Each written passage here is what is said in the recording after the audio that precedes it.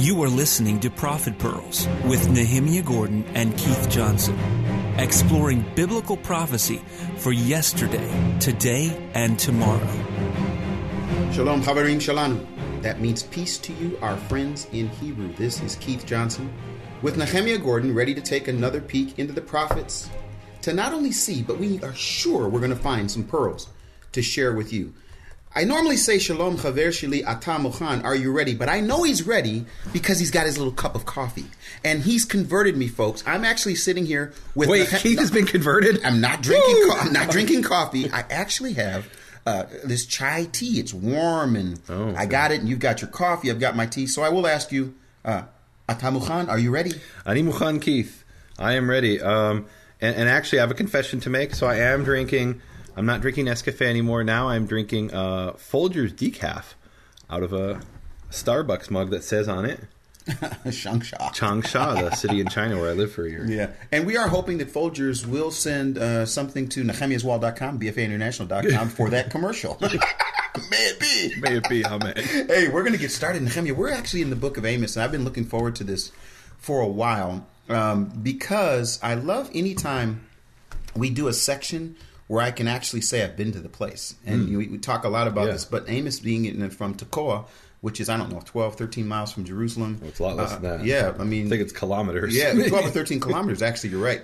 So, uh, but what's interesting about it is, you, you know, we're, we, we normally go right to the section. Folks are, are reading the, the, listening to Torah Pearls, which is the, the section in the Torah. We did the original Torah Pearls program and the Prophet section, which is connection, connected. And as much as I would like to be able to say we can go through the entire book of Amos, because we could do, seriously, a series on this book, and it Yeah, would take for us, you know, we could we could do a Well, check. I, I could spend the whole time just in one verse. Absolutely, we could. But uh, what's interesting about it is a little context, if I can, having been there. And, and when you open up Amos and you look at the first verse, you hear about Amos, who was a shepherd. And the reason I want to start with this because I think it's really kind of related. It says in Amos uh, chapter one, folks. We're going to be going to Amos chapter two, verse six. But to just start out a little bit in this first verse, it says the words of Amos, Amos, one of the shepherds of Tekoa, what he saw concerning Israel two years before the earthquake, and then it goes on to say the actual time. So it actually gives us the context of when he was prophesying, Yeah. where he was prophesying, and not only that, the life circumstance he was in. He, it says, was a shepherd. Mm-hmm. Now, and, and now here's the thing that's you know people can go back and forth, but I think what's amazing about it is that God can choose whoever He wants, whenever He wants, uh, to give them to have the ability for them to see and to hear, and for Him to speak through Him. And I, I just think it's really interesting, and we'll, we'll talk about this later. That the person that's that's prophesying is it's clearly saying that he was a shepherd. Yeah, absolutely. And, and and not only with you know part of the point of him being a shepherd is that he's not a professional prophet, and that comes up later in chapter 7 Uh, now, first of all, let, us just uh, give some more perspective. So, um, you know, Israel's not that big of a country. I remember I used to sit in my classes at, at Mount Scopus at the Hebrew University of Jerusalem, which is in the northeastern corner of modern day Jerusalem, and I could look out my window in one direction of the classroom, and I would see uh, Herodion, which was this palace, a summer palace built by Herod, and um, uh, in, that palace is right next to Tekoa. Meaning, when you're saying Herodion, you're essentially saying Tekoa, where where um, where Amos was from. And then the other direction, I could look out and I could see King Hussein's palace. Mm-hmm. He was a king of Jordan who built the palace there in, in, uh, just before the Six Day War and, and never finished it, so it was left as a skeleton. And that is the biblical site of Gibeah, where mm-hmm. Saul was from. So mm-hmm. imagine, so Saul is in Benjamin, and I can see that in one direction. The other direction, I can look and I can see um, what is the heart of Judea, the heart of the tribe of Judah, which is Tekoa. And I look out in, in a third direction, and I can see Transjordan, which is the area of the tribe of Gad, of God um, you know, and today the kingdom of Jordan.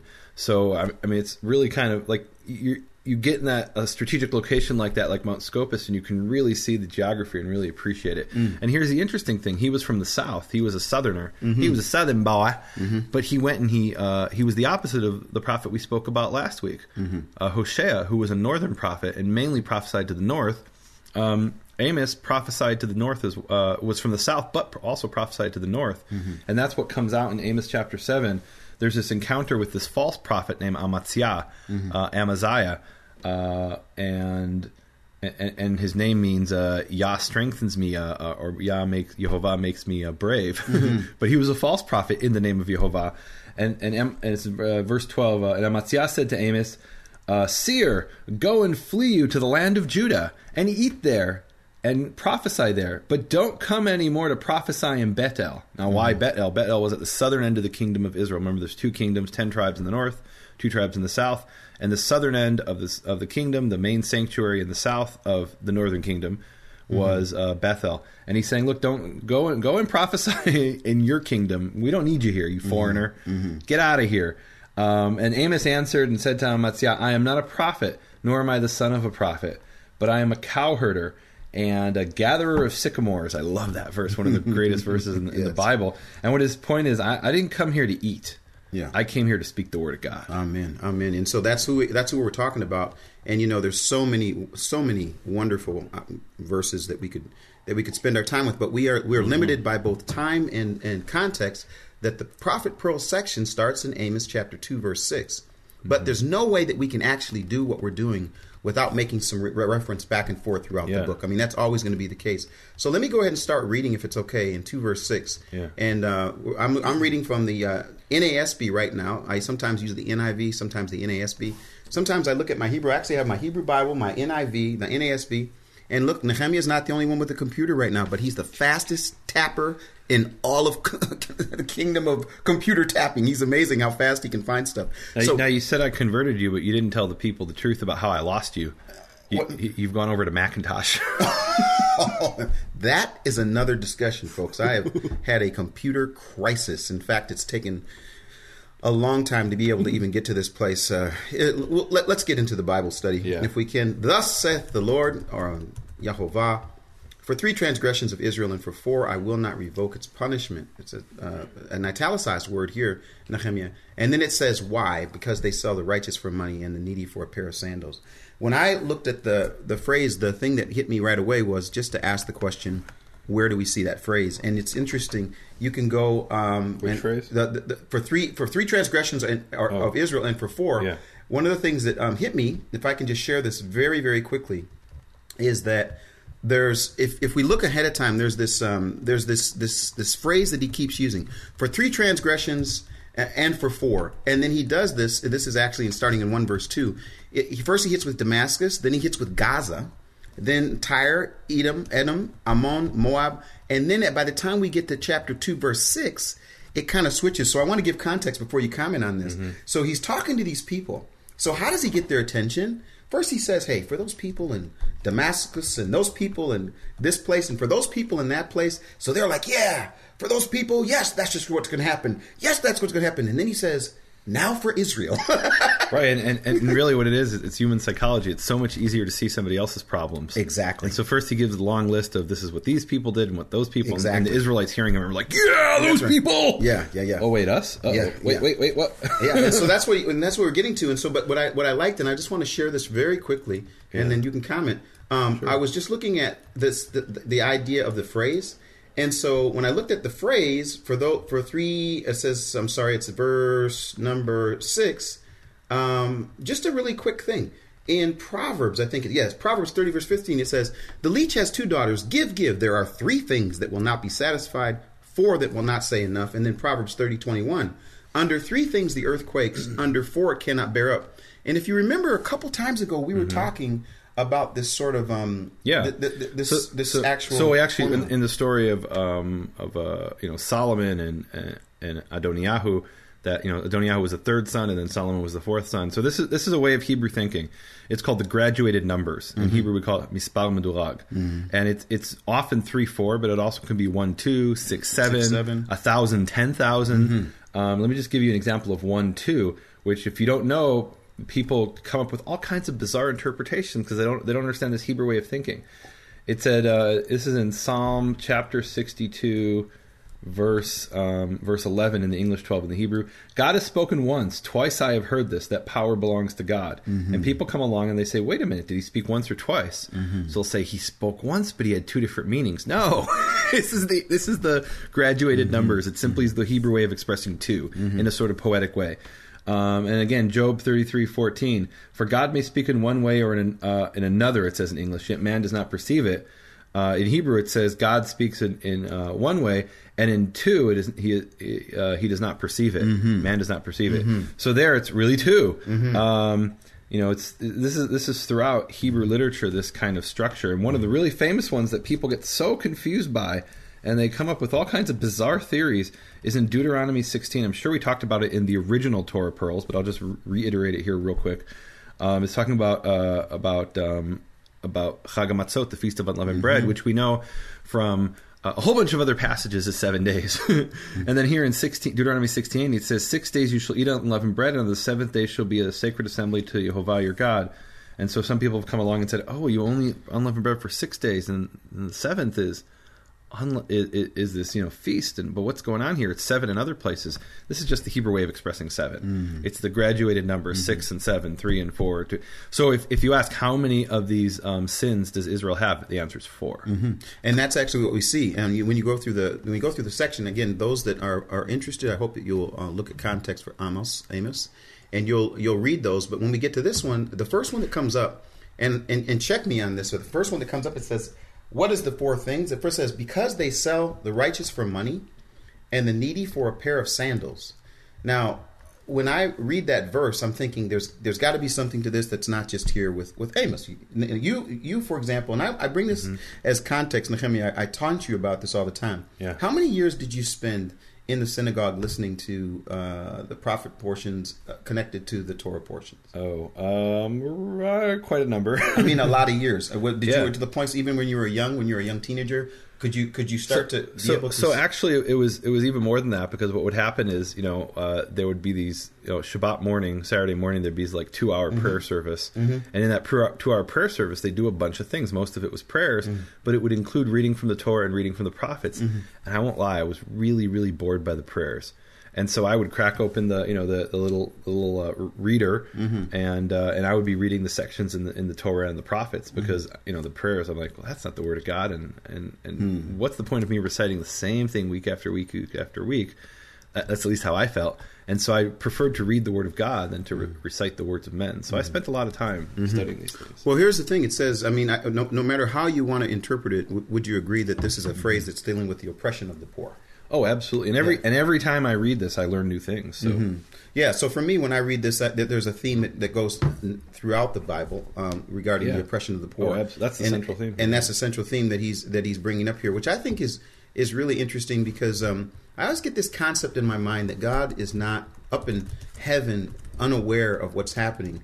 In fact, it's the exact opposite. He is aware of what's happening at, at every level of society, from those that have been set aside, like the orphan or the widow or the person who doesn't have food. And we're going to talk about this in this passage, but it actually is encouraging to me that um, the, the God that we serve, you know, like I say, it's not just here's the word of the Lord for what's coming the day of the Lord, but rather here's the word of the Lord for what's happening right in your own community or right in your own situation, and that's what Amos is um, obviously is, is dealing with here. Yeah Now the next verse. Whoa, where- whoa! go Next ahead, verse. ahead, no, no, ahead, we, we spend the whole time on this verse. This is a really important verse. So we always have to ask the question. Sometimes maybe we forget, but we always have to ask the question: Why did um, why did the people? And again, it's tradition. But why did the people who established the tradition choose this section for the Torah portion? And what do you have an answer, Keith? Give us give us an answer. I mean, I, when I read the story, Okay. I mean, when I read the story, and I'm hearing about Joseph, and I'm hearing about Yeah, Genesis things- 37 Yeah. through 40, th- 37 1 through 40 23 is Vayeishev, the, the Torah portion for this week, and it's about a righteous man being sold. Mm-hmm. And he's being sold to the Egyptians, and that's exactly why they chose this section, Mm-hmm. really because of this one phrase. Um, for three transgressions of Israel before I will not revoke it, because they have sold for silver those who whose cause was just. That's in the JPS. Um, King James. Um, because they sold the righteous for silver, and, and in Hebrew it says tzaddik.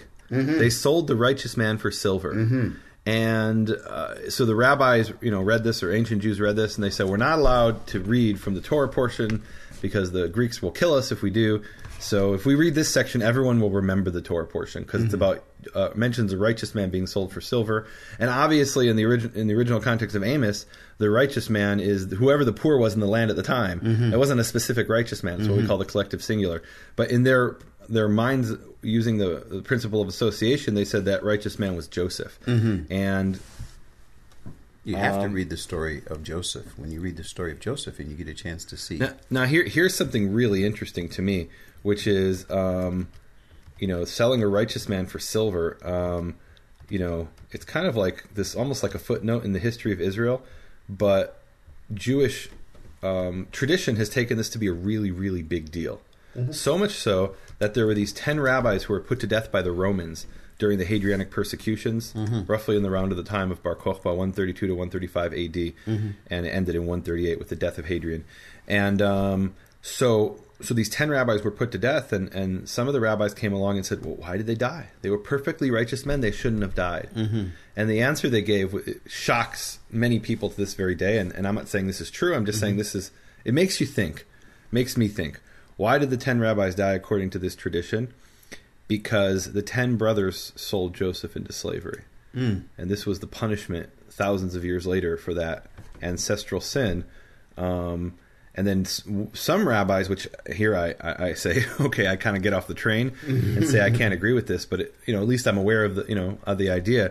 They'll say um, not only was selling Joseph into slavery the result resulting in the uh, death of these ten rabbis, but some rabbis have come along in the 20th century and said the Holocaust in the 20th century was a result of selling a righteous man into slavery, which even in Jude, even in rabbinical circles, is very controversial, and people have gotten very upset by that. But I think it's interesting. The point is, we gloss over this. Yeah, they sold him to slavery. We're done with that. But it's kind of a big deal. Oh, kind of. it's a major deal. So let's move on, if that's okay. Sure. Um, so it says here those who pant after the very dust of the earth on the head of the helpless and turn aside the way of the humble. Now I want to stop there before we go to the Yeah. next the next phrase. So what image do you get when you see that? I mean that's what it's talking about, but is there is there something that you think of when I when I when I read that I just think okay, who are we are we talking about the poor or are we talking about the people that oppress the poor? Obviously we're talking about the poor, would you agree? Well, the oppressors are stomping on the poor. Exactly right, and they're, they're panting after the very dust of the earth, the head of the helpless.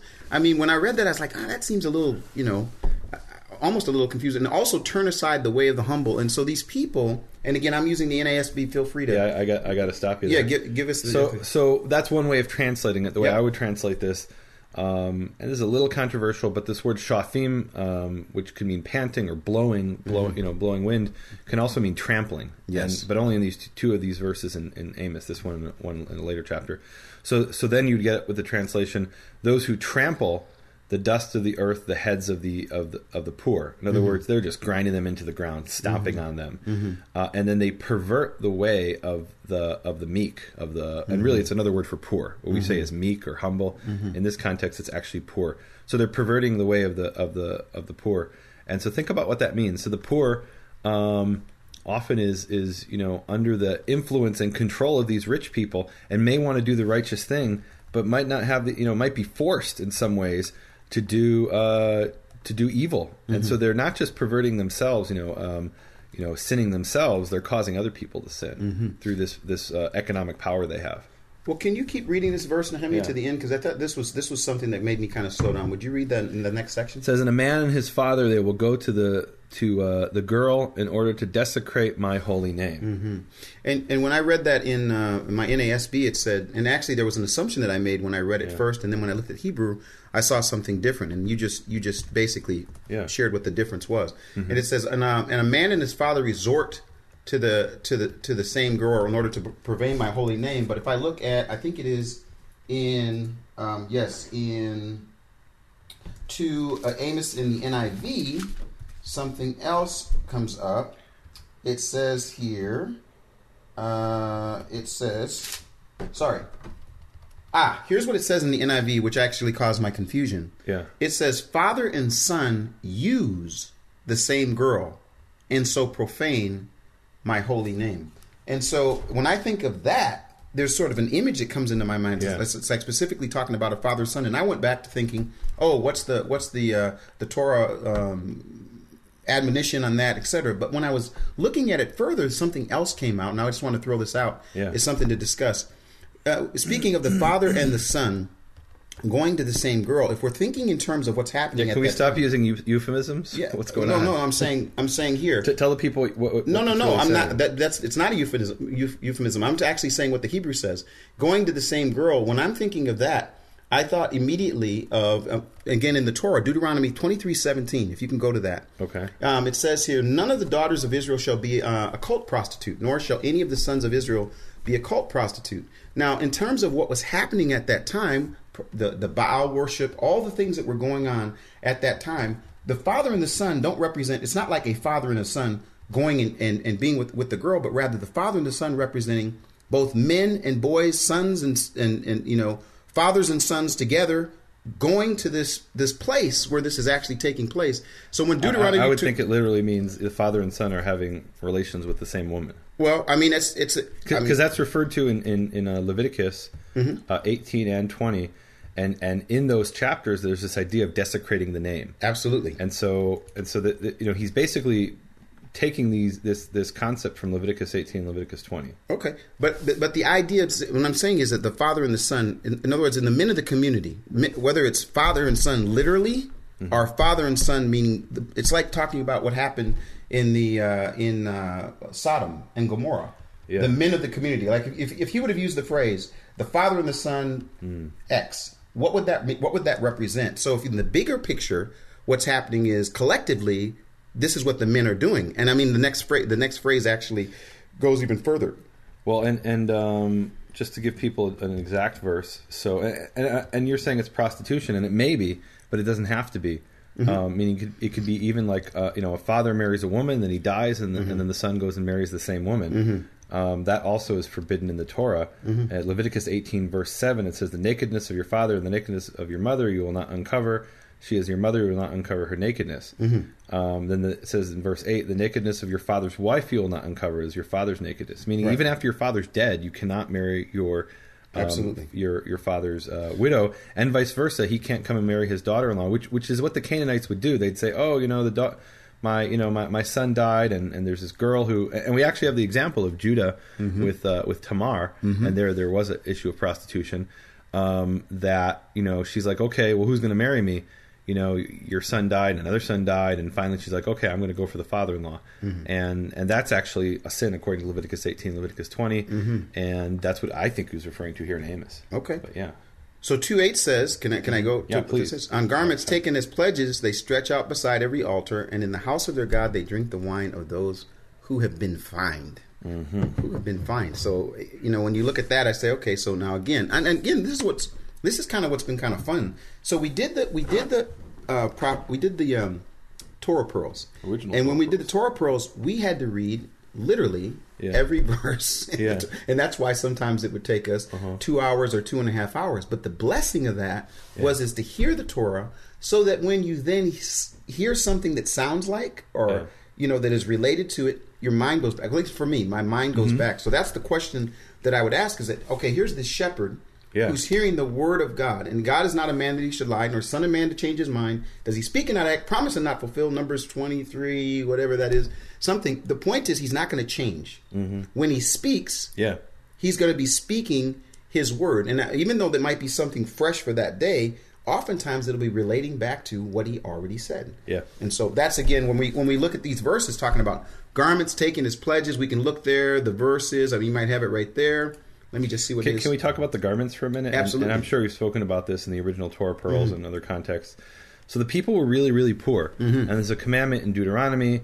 Uh, it talks about if you if you you know take someone's garment. Exodus as- as a- two twenty six. If is- you take your it? neighbor's cloak Okay, as a pledge, you are to return to him before the sun sets. Wonderful. Mm-hmm. Okay, and what they would do is they, t- and the reason is because he doesn't have another one, and so they would take the you know take the cloak. Basically, This this, Mm-hmm. is this, this Isn't that is amazing though. Think about that. Yeah. Like here, so here you've taken the cloak. Okay, that you, you can do that, Yeah. but give it back at night. right, and that's because it, he he's cold. Mm-hmm. I mean, literally, uh, they didn't have anything else to um, to sleep with, and um, and what's really cool, and yeah, it says, uh, uh, it's, yeah, Exodus twenty two twenty six in the Hebrew it says, "And what else shall he sleep? Therefore he cries out to me, I will pay heed, for I am compassionate." And there's this great uh, ancient Hebrew inscription um, w- where it talks about this guy who uh, who lost his he, he owed money and the the debtor came. And this is written in Paleo Hebrew from Wow. like you know seventh century BC.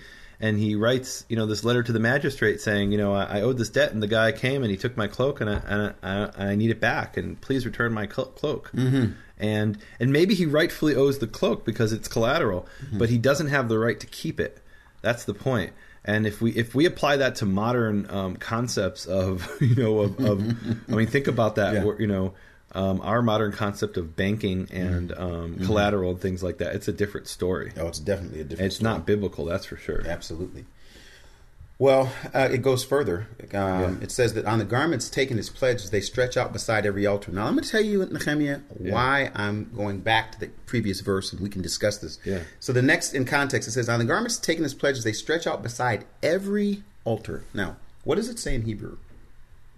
In verse uh, verse eight. Verse eight um, says, uh, "Yeah, upon uh, pledged garments they uh, stretch uh, by every altar, and the wine of, of of fines they drink in the house of their gods." In the house of their gods, does it say? Yeah, or it could be translated the house of their god. Uh, they're God. Let me ask this Yeah. question, just from practicality. Yeah. Is he speaking about the, the, the, the, house of God at that time that they're going to in Jerusalem? Or are they Oh, definitely talking not. about something It- no, else? when it says uh, by every altar, presumably it's referring to the high places, which were all Absolutely. Mm. over. Uh, Dan and Bethel were the two major ones, but on top of every hill, uh, hill, Hill and every leafy tree, tree. they had they had one of these um, high Okay, places. so I want to throw this out. We don't usually get into any conflict. We just have a little bit of back and forth. But again, when I'm reading it in context, I'm thinking, okay, we're talking about these garments that are taken. We're talking about the poor. We're talking about them doing these things at these altars. We're talking about them going to the house to the house of their God, which is not the house, the house of uh-huh. God. And so, in the middle of talking about the poor and what they do with the poor, there's this this phrase again back to the the father and the son. So the issue was what I was looking at was the fact that okay, so what's the connection between what what it is that's happening, the the cult prostitute, whatever that they're whatever they're doing with Baal worship, etc. That's why I kind of I kind of focus on it, and I, I completely agree in terms of the man, the, the fathers and the son doing what they're doing as far as against the Torah, but also in context what is actually happening at that time and what is Amos calling these people to, and we're going to get to that. But this it was kind of like one of those deals where you see a sentence or a phrase in the in the sandwiched in between two other phrases. So here's the first phrase. The first phrase is um, let me see here. Let me just do this. The first phrase is he's speaking of the poor. This is what's going on with the poor. This is what's going on with the humble. Then it says, A man and his father resort to the same girl, is what it says in the NASB, in order to profane my name. And then it continues on garments taken as pledges, they stretch out beside every altar. What altars? Where are these altars?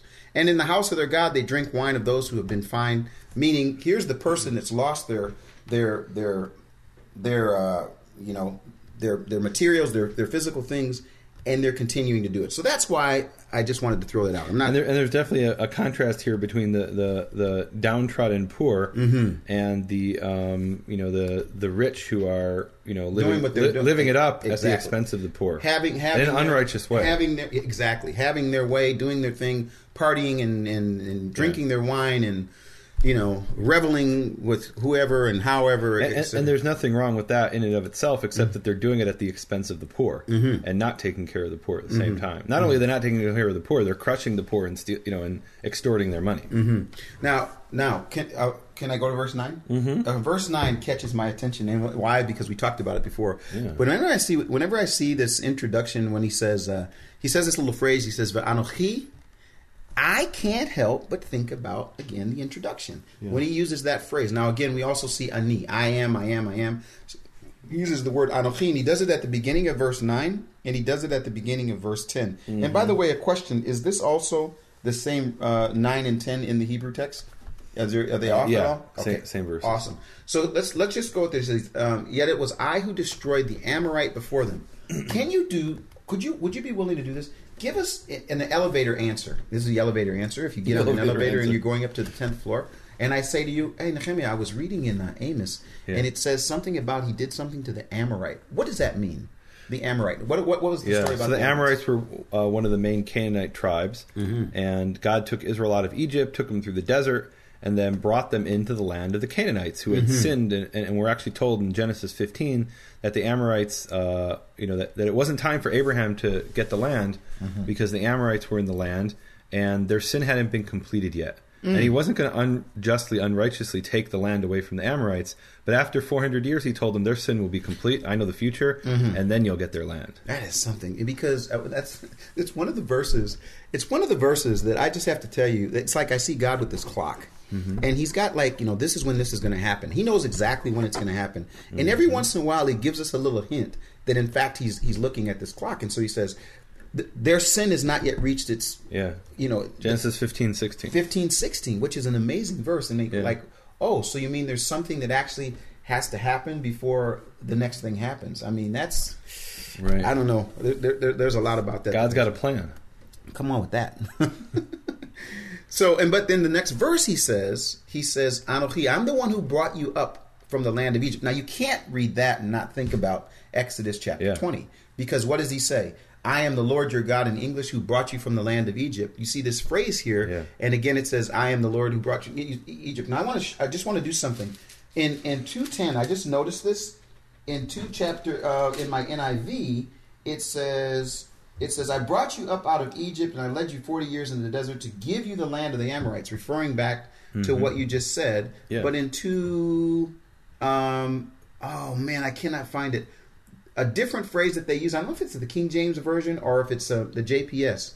That doesn't if you if you if you read it in English, it doesn't immediately remind you of what he says in Exodus chapter twenty. But I'm not going to hold us on that. Do you have anything you want to say about that? Um, no, I mean, you know, I think it's.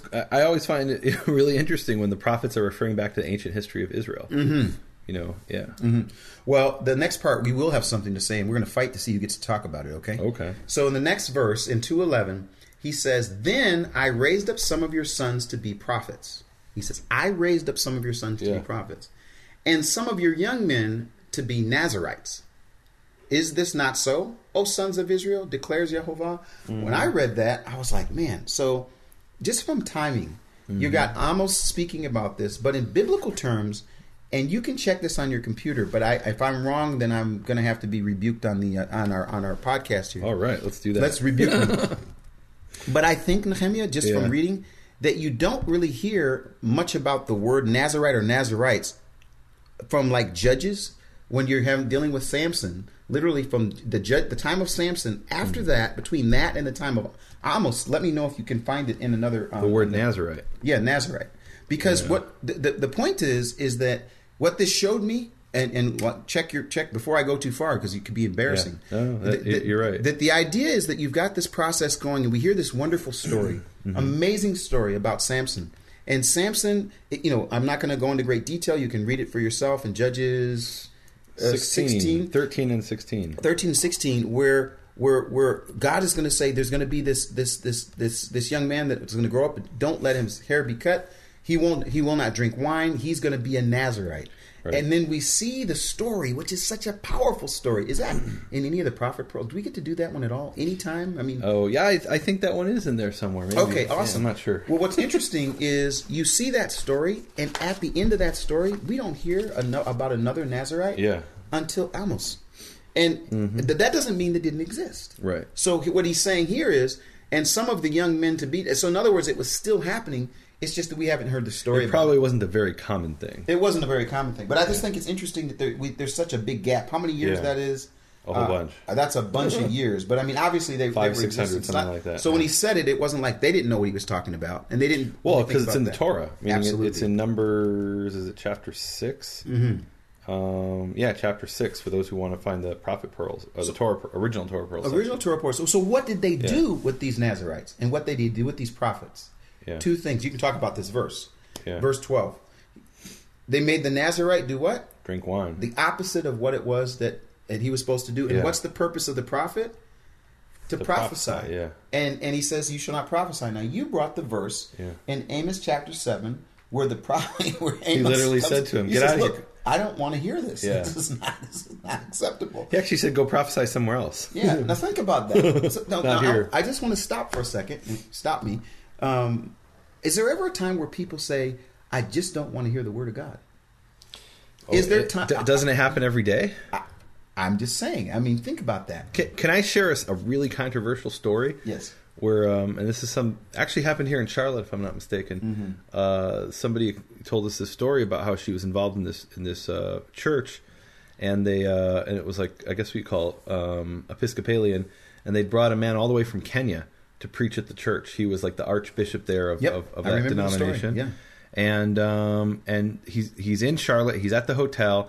They're about to pick him up and drive him over to the, the church to speak on a Sunday morning, and they said, "Well, there, there's been a there's been an emergency meeting of the church council or whatever it is, and uh, we we can only let you speak on one condition that you promise not to read from the Bible, because there was a certain passage that he wanted that they don't know whether he was going to read it or not." But they were afraid he could read a certain passage from the Bible, so they said you can preach, but as long as it's not from the Bible. And I heard that, I'm like, how can this even be?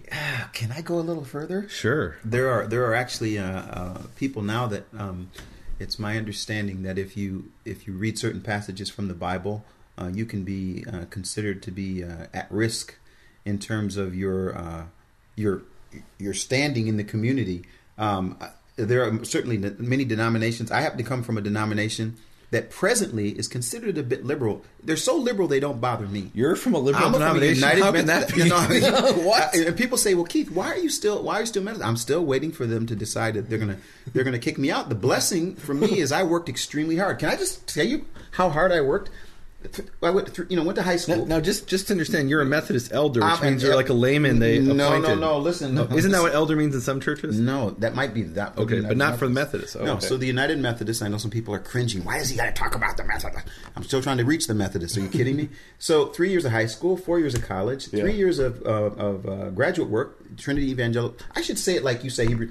Went to the Tr- Trinity Evangelical Divinity School. I don't say it like that. Say it. I went to Hebrew University. no, three years there, and then from there it's another two years, another two years of the process. What I appreciate about the United Methodist process is that there's accountability. What I don't appreciate about the United Methodist um, denomination is they focus more on the book of discipline than on the book, uh, the Word of God. And the Book of Discipline's not the Bible. No, it's not the Bible. In fact, it's they they, Okay. they they they talk about the rules and regu- the regulations. But again, this idea to tell someone do not speak the word of God, and I'm I'm concerned presently, as I see in many denominations, there are fewer and fewer pastors that are opening up the word of God and preaching the Mm. word of God. They're being political. They're having to do all these other things and jump through all these hoops. And there's entire denominations that are saying, no matter what, make sure that you don't share these particular things because they're out of context. And- and- it's and- old. Yeah, and I heard that if you read like uh, in certain countries, if you publicly, even if you're like an ordained pastor and you publicly, or especially if you publicly read certain passages from the Bible, then you could be prosecuted for a hate crime. And I'm not talking about Saudi Arabia. I'm talking about Canada. Really? Yeah. Wow. Well, they, in the situation back then, they were say, they were telling the Nazarites break your vow, and they were telling the prophets don't prophesy. Um, Yeah. And then he and then he To says this very day. to this very day, behold, I'm weighted down beneath you, mm-hmm. as a wagon is weighted down when filled with sheaves. Mm-hmm. Who's weighted down? Who is he mm-hmm. speaking about here? What's what's going on here, Nehemia? I mean, Yeah. this So is where you got to. Let me read you the JPS. Okay. I, I will slow your movements as a wagon is slowed when it is uh, full of cut grain. Boy, that's a well, and, and and here here's the difference: is it that Yehovah is weighted down? Yeah, that's Or is exactly- it He's going to weight us down? Exactly. You know, you're going to tell my prophets and my and my Nazarites to to defy what they've been called to do, then you're going to have a hard time. man. And that actually fits the next verse. Meaning this, you know, the way you read it makes no sense in the context. Mhm, read it. Read the next verse. So flight shall fail the swift, the strong shall find no strength, and the warrior shall not save his life. The bowman shall not hold his ground, and the feet, fleet-footed sh- shall not escape, nor the horseman save his life. Even the most stout-hearted warrior shall run away unarmed that day, declares Yehovah. So you're going to defy my prophets and and uh, give drink to my Nazarites, force them to. Actually, in the Hebrew it says force them to drink. Um, uh, then you are going to. I'm I'm going to remove my protection from you. Man, oh man. Yeah. Okay. Well, uh, there's a there's a shift here uh, in three one. If it now it, Yeah. he says he says in in three one, he says now hear this word which Yehovah has spoken against you, sons of Israel, against the entire family which he brought up from the land of Egypt. And then the next, uh, now this is connected, so you can definitely re- respond to this. But when you hear these words, the, the entire family, and then he says, "You only have I chosen among all the families of the earth what do you think of when you hear families of the earth? What do you think of? I mean, Well, I think of Genesis uh, 10 and 11 Exactly. after the flood, where the nations are, are separated out into 70 different nations. Mm-hmm. And one of those is, you know, the family um, that eventually becomes Abraham, Isaac, and Jacob. Mm-hmm. And, you know, meaning, and and that's actually an image that, you know, I grew up with that it's really interesting. It's tradition, it's not historical, but it, but it's an interesting image based on this that, that, um, that you know before God chose Israel for Mount Sinai that he went to all the other nations of the world and offered them and they rejected it. And as far as we know that actually didn't happen. But it brings up the point, okay, there's all these nations in the world. Why wasn't it the Yanomami of uh, of, of of Brazil of the Amazon rainforest? Why wasn't it these other you know the the Han of of China? Why was it Jacob from uh, from you know from Israel, this small little you know family of shepherds. Why was it? And what we're told in Scripture is is because of God's relationship with Abraham, that there was this covenant He made with Abraham. that's, I mean, we could go.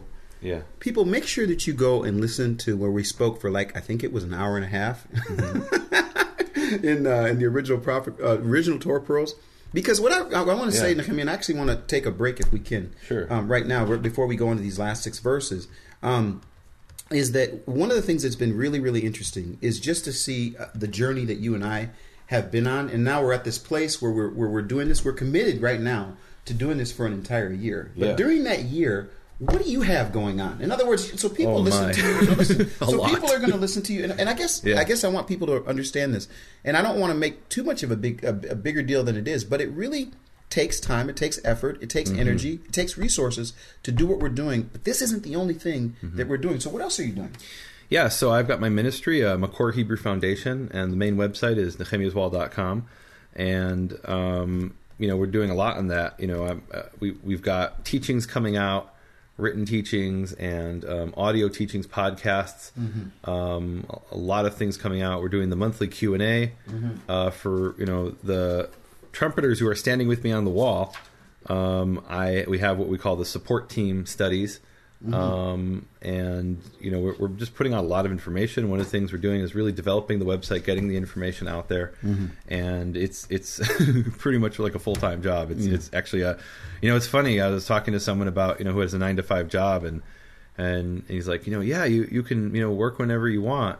And I'm like, yeah, from the moment I wake up in the night to the moment I go to sleep at night, literally. Yeah, it's funny because I'm here with you. We're actually, as those who don't know, we're actually recording this um, in advance because we're about to go our separate ways. I'm going to be on the other side of the earth, and Nehemia is going to be. Yeah. We don't know where he's the wandering Jew. What, what city will it be next? I don't know. Uh, but we're here, and, and we do get to see what we're doing, and I do get to watch you Yeah. doing what you know. One thing I really appreciate, Nehemia, about what you do is that you've got all this information and you're you're finding vehicles by which people can actually in, encounter the information. So Mm-hmm. this is not a ministry minute. I want you to talk a little bit, if you can, also about the platform by which people can interact with what what, what you're what you're doing. And by the platform, you mean the website? Yeah, not just Yeah. the website. Oh. It's it's podcast. the- Yeah. Oh, one of the things we have is the you know iTunes, uh, and we're now putting out the you know this audio blog. And um, one of the things I do ask people is to go to iTunes and give us ratings and reviews because that really helps get the message out in front of other people. Um, you know, uh, us do recording uh, an audio, and no one listening to it. That you know, that's only half of the ministry. Half of the other half is actually getting this message out. Well, it's interesting. There's a lot of people listening to know, I think between us, we're- between our, our website bfainternational.com and with nehemiaswall.com, we have thousands of people that are actually listening. We're Yeah. really appreciative. I want to challenge those that that are listening to consider something. We're actually four weeks away from the end of this calendar year, and I've made a really big decision in the BFA, and that is that I'm not going to chase the train.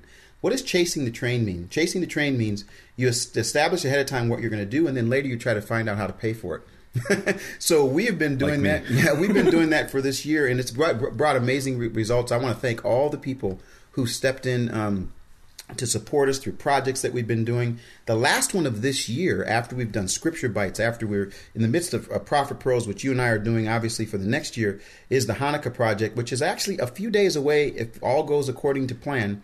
A few days away from being released uh, for everyone to watch. It's in the spirit of the Christmas special we did last year. Uh, through the Now of the Time, we did a last year? Christmas special last year. It was huge. Thousands of people Really? saw it. So we believe the same thing for Hanukkah, but I will say something. We did this project. We had we started doing it without knowing exactly how it all would, would, would be taken care of. We are by faith doing that. So I'm actually challenging people, if you would consider this as we end, end this year, to go to bfainternational.com. If you are a free member, I want you to ch- I want to challenge you just to pray about potentially becoming a part of the premium content library.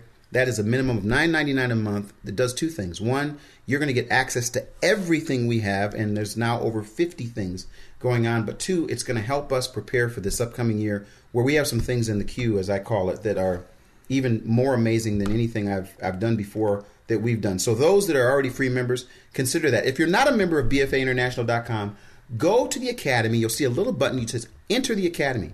And when you enter the academy, there's going to be two options. One, you can be a free member, and if you're if you're unable to do anything, please become a free member because you're going to get a chance to get email updates and see a whole bunch of things. But if you have the ability to do it, I am sincerely asking you to consider uh, becoming a part of the premium content library because that's going to help us help you. It's going to help us do the things that we're doing right now, reaching people around the world with good information, inspiration, and revelation, inspiring people to build a biblical foundation for their faith. That is what the website is about, and you can help us do that in this upcoming year. So let's do it. My goal is very simple 300 people. We got thousands of people listening. If 300 people will become premium content library folks, we can start producing something that's going to be amazing in 2015 while I continue to work with you on Prophet Pearls. So Yeah. that is the that is my ministry minute. Can we continue? Yeah. Here we go, guys. We're in Amos 3, verse 1. Can you read it, Nehemia? We just talked about the entire family. Um, the thing that you, Yeah. you talked about in terms of the, being the family, uh, the family that, God sort of chose, but He chose this small little group, and He's doing this amazing thing. And I'm reminded when I re- when I read this, I think about what does the family do? The family ends up being the picture of what God wants for the world, and so how He deals with that family and how that family uh, interacts with the world. The idea is that they would actually um, be able to reach others, people around the world, um, with with that message. Yeah. So, uh, but it says here, then this is the hard part. Uh, you only have I chosen among the families of the earth. With that choosing comes a great accountability. Therefore, and this just seems like a downer. It seems like a downer. You're my family. I've picked you as my family. I'm going to punish you. I mean, when I read that, I'm like, well, maybe you know. That's, yeah, that's it's it's not all it's not all um, you know roses. It's not. Um, and it reminds me. This brings me back to Leviticus chapter ten, verse 3 Mm-hmm. And this is just after uh, the two sons of Aaron, Nadav and Avihu, they brought this uh, strange fire, and they were immediately burned up on the spot. Mm. And it's like, what? Wait a minute. We're the holy Kohanim. We're the holy priests. Why did this happen? Mm-hmm. And here's the answer. And Moses said to Aaron, "This is what Yehovah meant when he said." Uh, through those near to me, I show myself holy Mm. and gain glory before all the people. So, if you want to be holy, you want to be a Kohen, you want to be a nation of priests.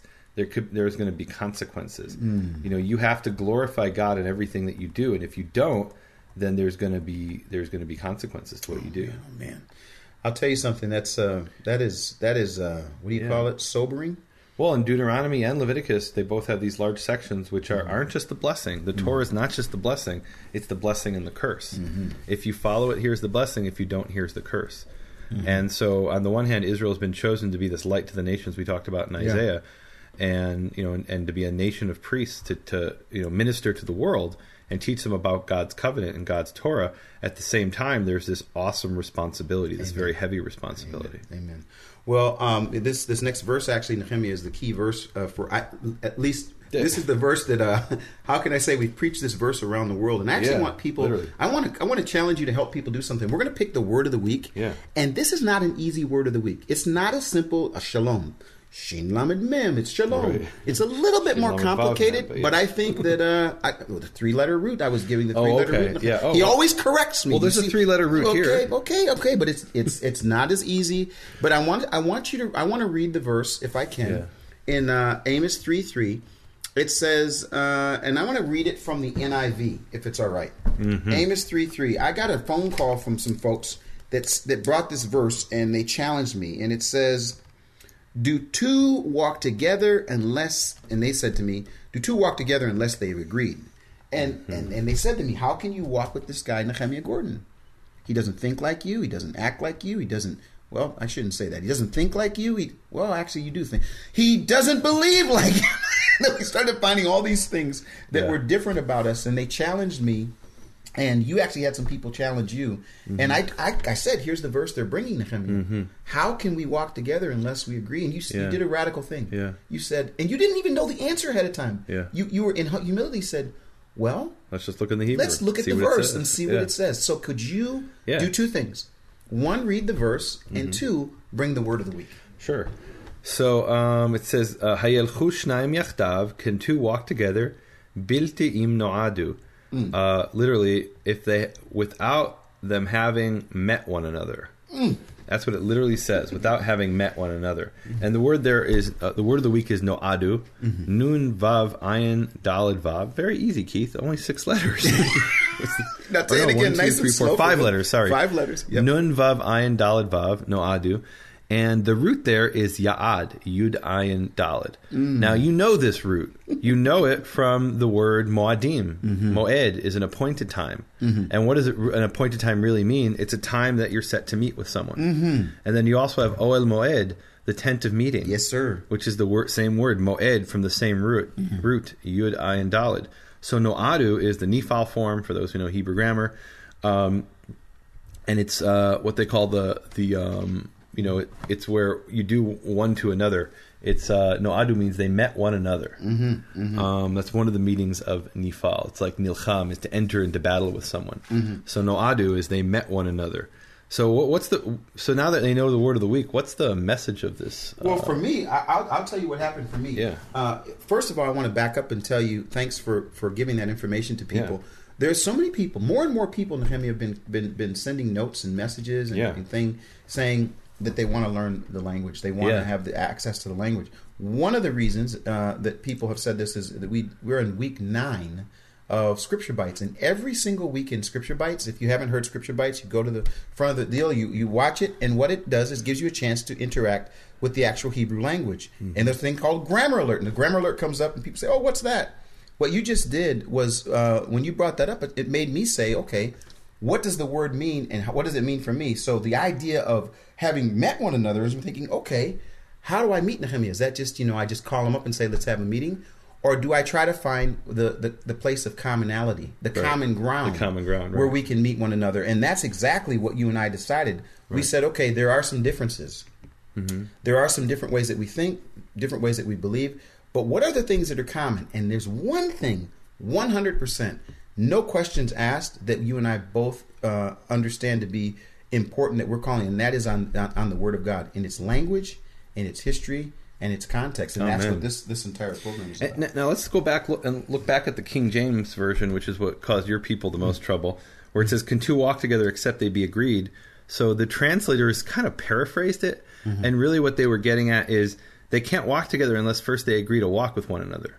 Exactly. Whereas what the way this has been taken in, in, in the church that you come from, and, and by many, is that um, if you don't have theological agreement with someone, you can't have a, You physically- a you- you walk of spirit with yeah, them. You, you can't, can't. spiritually walk with Yes, somebody no question. unless you agree with them uh, on matters of doctrine. And the result is thirty three thousand different Christian denominations Mm-hmm.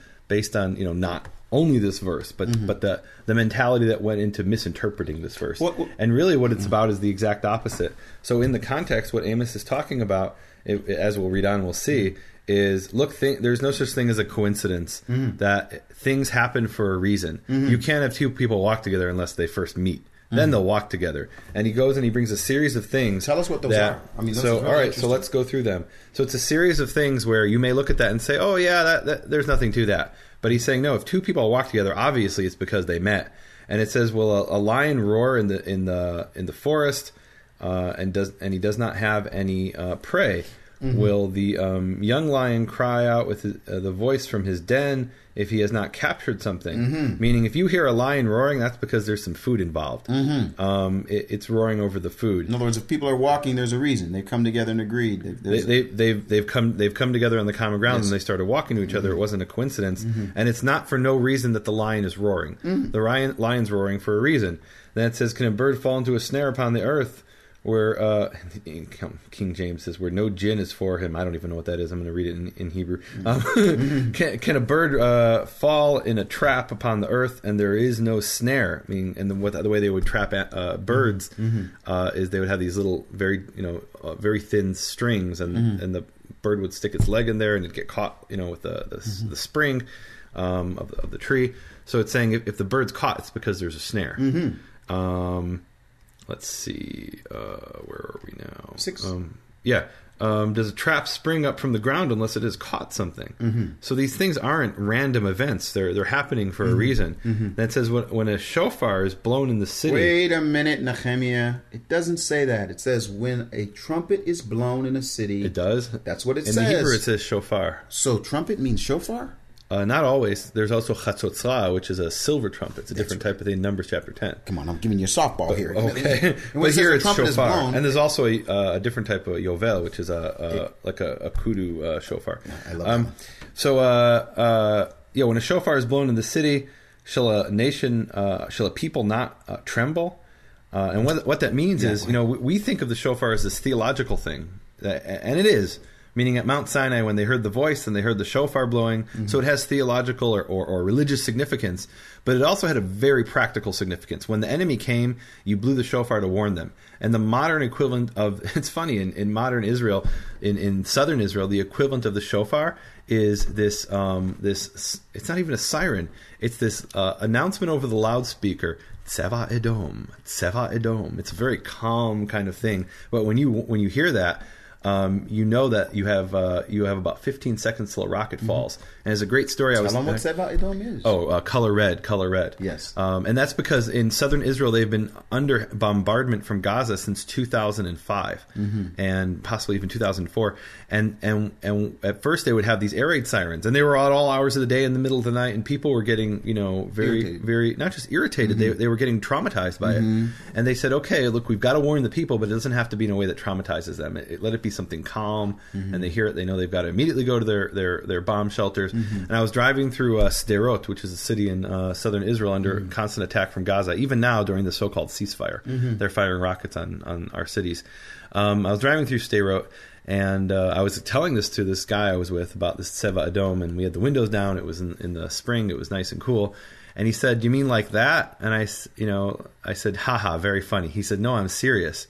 And I stopped talking because sometimes I can't hear other things when I'm talking. and Hello. and I heard them saying Tseva Adom, and I immediately stopped the car. Didn't even take the keys out. Put it in park and ran into a bomb shelter, which was a, a bus stop, which are like reinforced with uh, concrete. Um, and you know, and and the and there was full of people, and you know, and the air raid, you know, happened, and and um, the missiles fell, and uh, and the point is that if you hear Tseva Adom, you run to the bomb shelter. It's an inevitable response, and so it's not the shofar here in the sense in this context. It is and it isn't. Meaning, meaning he wants you to know about. He wants you to think about the shofar that warns you to repent, which mm-hmm. is something throughout the mm-hmm. Tanakh. But he also is speaking in the sense of the shofar of there's a warning here. Mm-hmm. Of course you're going to tremble because that means the enemy's coming. And if there's evil in the city, is it not Yehovah who did it? Well, here's the thing. Before you get to that last phrase, I Yeah. can't with the last phrase. When they're talking about these phrases, it's like I agree, I agree, I agree, I agree, Right. I agree. Last phrase, eh. Right. Well, and all these other things, they're, they're, they're statements that, you know, they're obviously not coincidence. Like common sense says they're Exactly. not. Exactly. And so finally with the last one, right, this is the um, the tie-in. This is the culmination. It's Right. like well, it's, It says, it's also, Im ba'ir, if there will be evil in the city, Vayehovah lo hasa, and Yehovah didn't do it. and I'm telling you, uh, that's that's the part that for me when I was reading it, you kind of say, of course, you know, I, if it's if it's okay, I'm going to read this in the, uh, yeah, I'm going to read this in the NASB. It says, "Do two men two men walk together? Let's of course. Does a lion? Of course. Does a lion? Yes. Does a bird fall? Of course. If a trumpet is blown, of course. If a calamity occurs."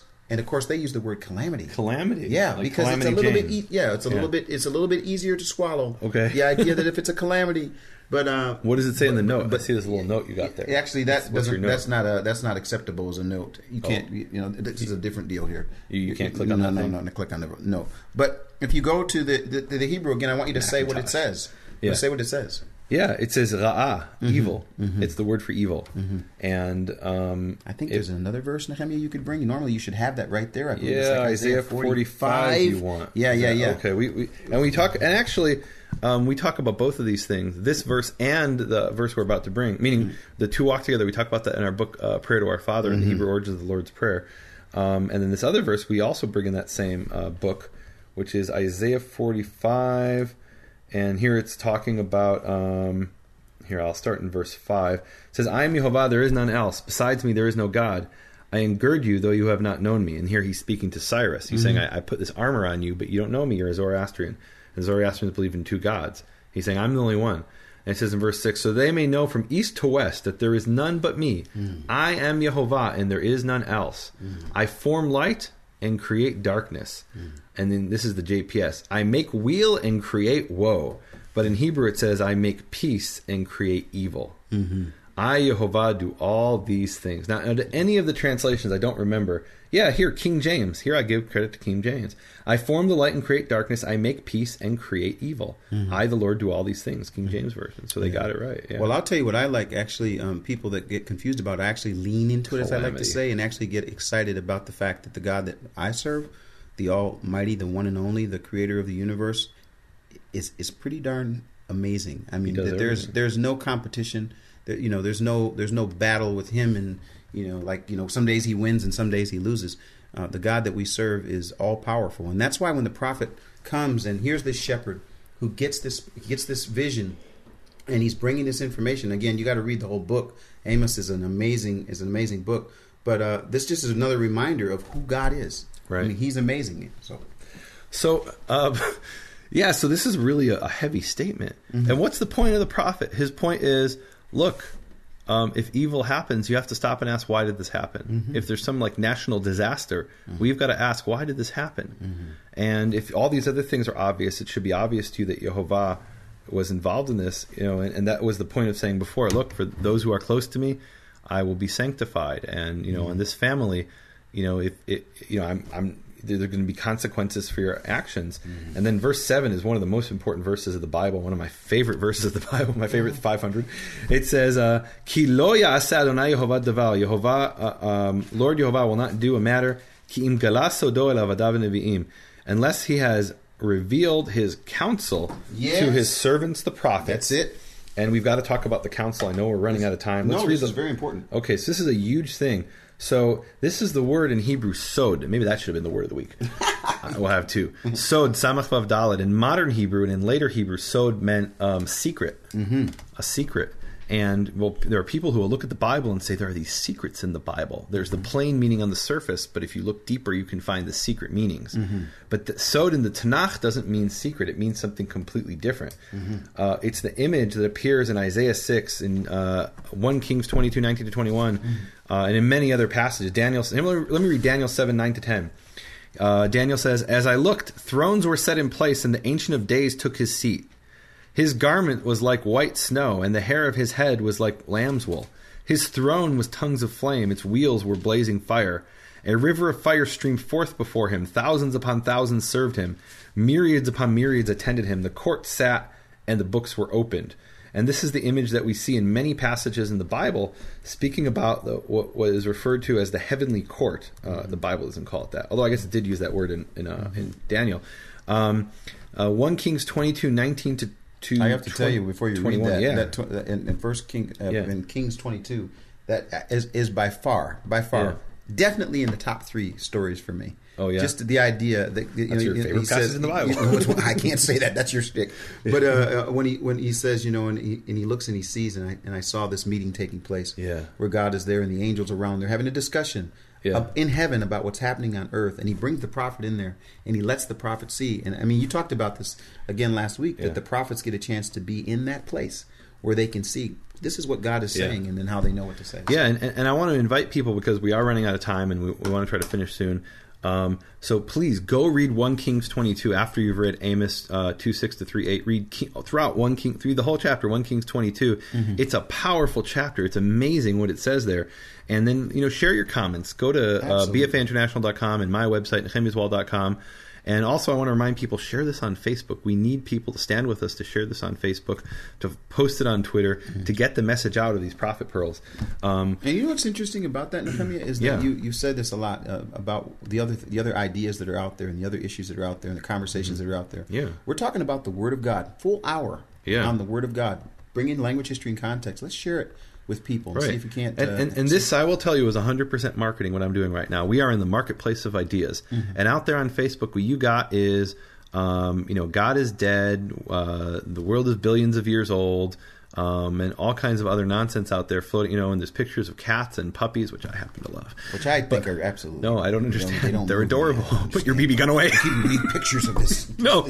So this so this is the marketplace of ideas and information that we're competing with, and we need to get this information in front Let's of get it people. out. This, this this is Let's crucial. share it out. The shofar is being blown, and the people aren't even hearing it. Mm-hmm. We've got to get this to them. So one Kings 22, 19 to twenty two. But Michaihu said, "I call upon you to hear the word of Yehovah. I saw Yehovah seated upon his throne, Mm-hmm. with all the hosts of heaven standing in attendance to the right and to the left of him." Yehovah asked, "Who will entice Ahab so that he will march and fall at Ramoth Gilad?"